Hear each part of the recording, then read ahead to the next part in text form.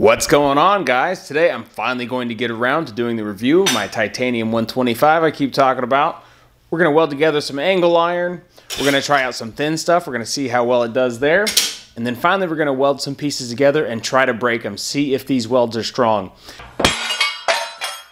Then I'm going to talk a little bit about of what I genuinely feel about this welder.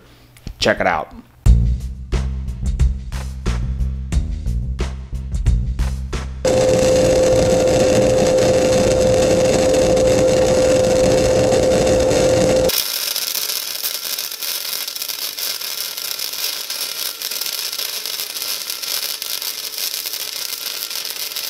So this right here, this particular application, I think is exactly what this welder is made for. It's a semi-thick material given this welder's capacity. It's eighth inch angle, and we're doing a fillet weld. I think it laid down pretty evenly, and I'm pretty sure it's plenty strong for whatever you're going to be doing with eighth inch angle anyway. Overall, I think doing this type of stuff, this welder is perfect for this application. It's not super clean. I would expect DC output to be a little bit cleaner than this, but when you run the wire wheel on it, it cleans it up pretty nice, honestly. So let's talk about this welder a little bit. Obviously, instead of just having a min-max like you'd have in one of the cheaper ones, you have a scale because this is an inverter. It's actually able to vary the amperage that goes out to the gun. So you have a lot of options. You're able to try different things. If your welds don't look quite right, you're able to change them. I love how small and lightweight this welder is. It's only like 15 pounds or something like that. I have a 110 plug-in welder at work that's over 80 pounds. So I love this. There's two disadvantages to that. One, you can only fit one pound spools in here. The other disadvantage is you only have a 30% duty cycle. So on one of the black box Chicago's, it's 20%. What that means is if you're welding for 10 minutes, you can only weld for two minutes and the rest of the time it has to be sitting and cooling down. So 30% isn't great, but that's only at full power. So if you turn it down, you're able to weld longer without letting it cool, but still 30% isn't great. But it's one of the trade-offs having a really lightweight machine, which is super convenient, and I actually really do still love it. And then a feature that I've never had on a welder, it has a cold feed. What that means is when you're running the wire through here that goes out to the whip, without pulling the trigger, you're able to just hit this button and it will feed the wire all the way to the end of the gun. That is super convenient. Like I said, I've never had a welder with this feature, so I'm actually really happy about that. Let's get back to the welding. When I'm welding the thinner stuff, you definitely want to be down on the lower threshold. So between A and B is just fine. And then again, I'm going to dial my wire speed back just a little bit to about floor. It doesn't have to be much lower than that. Although my welds did end up being kind of blobby, this is about right for doing this type of stuff.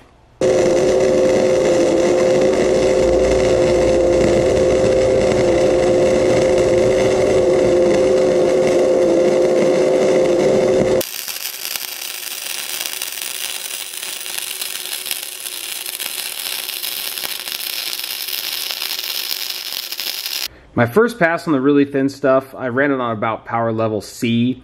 And uh, you can see we were getting some pinholes here. The whole time I was fighting this top piece melting back away from me. I wasn't entirely happy with it. And of course, it looks really blobby.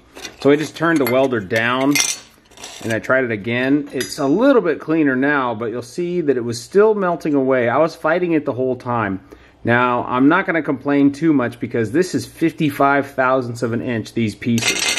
It's less than a 16th of an inch. So overall, the welder did just fine given how thin this material is. But it just goes to show that just because you have a machine that is really variable, more so than the 90 amp one of the other welders, it's still not going to do all the work for you. You're going to have to really work to weld thin stuff like this.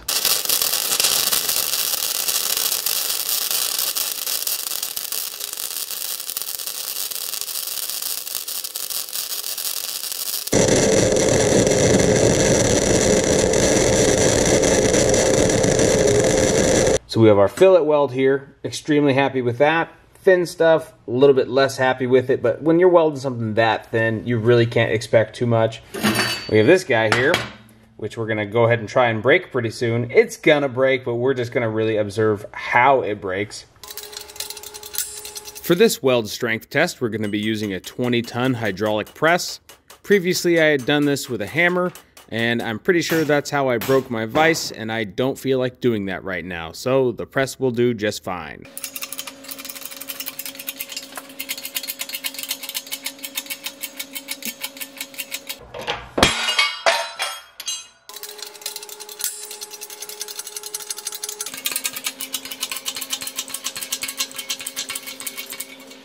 So if you paid close attention, you could see the piece that I was using as a support is now seriously bowed out.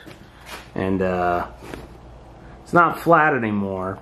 So this actual weld is definitely stronger than the piece I'm using to support it.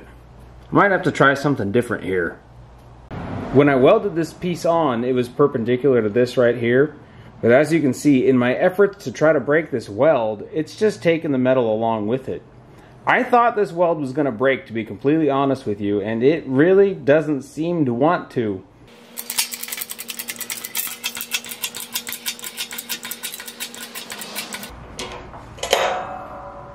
So in the process of trying to break this weld, I've really just ended up with a big pile of twisted metal. I mean, that had a gusset on it. It actually broke that weld that wasn't even attached to the piece. I know that's just leverage, but this is 316 steel we're talking about, by the way. But I have still not been successful at breaking this weld. I mean, that's almost flat. I'm going to go ahead and say that it's a strong weld. Let's just move on. So I was fully ready to do a review where I just sang the praises of this welder because while I was making my workbench, I was overall very happy with it. I really liked it. I love the way it looks. I love how light it is. But there's a few things I don't like about it. First of all, it's got a cartoonishly short whip. It's only five feet, so literally you could be using the gun and touch the welder at the same time. That's not real good. You're only able to fit the one pound spools. Now, if you have one of the black box Chicago's, the 90 amp or the 125, which are the exact same welder, we'll talk about that later, you're able to fit a 10 pound spool in those, so you're able to fit way less wire. I do love that it's adjustable, but you're really only dealing with 125 amps, so the adjustability only gets you so far.